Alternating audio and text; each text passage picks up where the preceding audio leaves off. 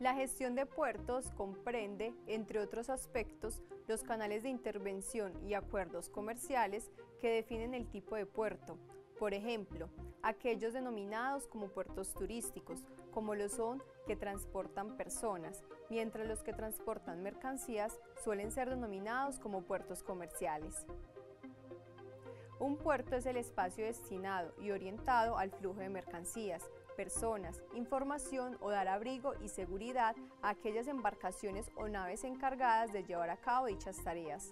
Dentro de los puertos marítimos se pueden distinguir aquellos orientados a la carga y descarga de contenedores de mercancías de distinto tipo, especialmente los pesqueros, el depósito de embarcaciones de recreo, puertos deportivos u otros.